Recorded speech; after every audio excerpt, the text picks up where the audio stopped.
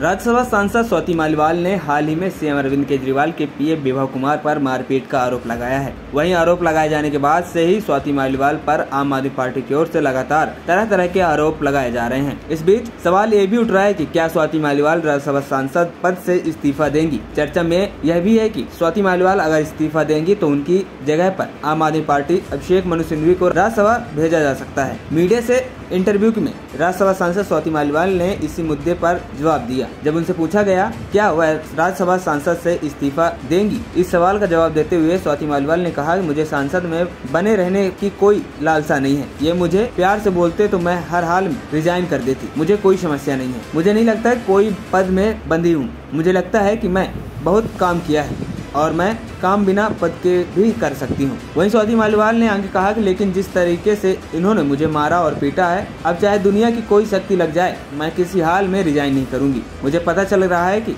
और मुझे बताया जा रहा है, इसी वजह से मेरा चरित्र हरण किया जा रहा है। मैं बिल्कुल रिजाइन नहीं करूँगी। मैं सांसद में युवा सांसदों में से एक हूँ। मैं बहुत शिद्दत से मेहनत करूँगी और एक आइडियल सांसद कैसी होती है, वो बनकर दिखाऊँगी। खबरी चौखट की रिपोर्ट।